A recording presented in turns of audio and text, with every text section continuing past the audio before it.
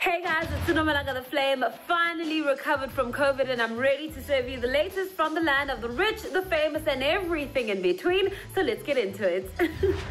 Soulja Boy has agreed to stay very far away from a woman accusing him of sexual misconduct and domestic violence, and this is according to new legal documents obtained by TMZ. Now, if you remember back in January, we reported on a woman who had sued Soulja Boy for sexual misconduct and domestic violence after she had apparently been hired by the rapper to be his personal assistant. Well, it turns out that Soulja Boy had allegedly started soliciting nudes from the woman, at which point this became a romantic relationship, or we're unsure, but apparently she had then filed for a restraining restraining order against Soulja Boy in an LA court. Now, he has agreed to a three-year restraining order which will end on the 16th of July 2024, which means that this rapper is not cranking himself out of this situation anytime soon.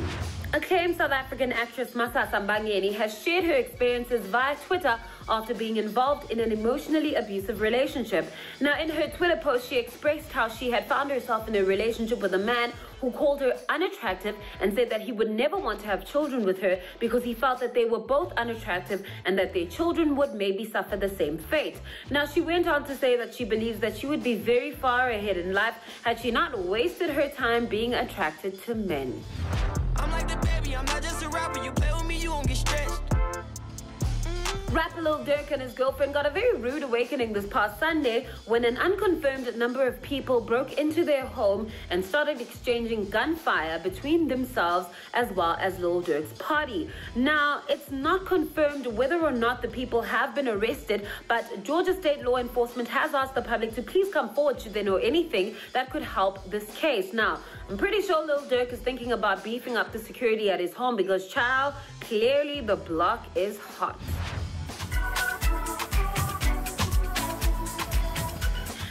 African audiences and fans of DJ Zinhle can expect something extra special coming through from their fave as the mogul is set to star in her very own reality TV show. Now, the TV show is going to be called DJ Zinhle Unexpected and will air exclusively on Showmax. Now, as we all know, this is extremely unexpected of DJ Zinhle as she is very well known for keeping her life extra private and apparently fans can expect her to open up on being a career-driven mom, a businesswoman and one of the most successful DJs on our continent. So kudos to you DJ Zinhle. We cannot wait to see what you have in store for us next.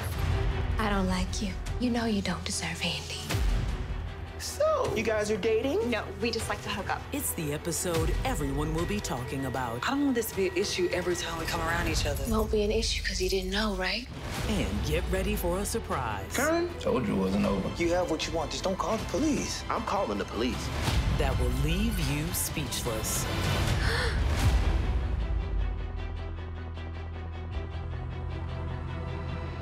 And just like that, the flame is out of here, man. But we do this again on Wednesday at 9.25 p.m. CAT right here on BET channel 129. In the meantime, let's keep in contact on social media by using the hashtag BETBreaks app. And don't forget to tag at BET underscore Africa. Now, guys, please be safe. Like I said, I've been off air for a couple of weeks because I was suffering from COVID. And let me tell you, it is not a joke. So make sure that you wear your mask when you're out in public. You sanitize, you keep the social distancing, and you observe all of the COVID 19 protocols and regulations in South Africa because this virus is quite serious. Now, I love you all so very much, and I hope to see you again very soon. Say it with me. Bye, honey.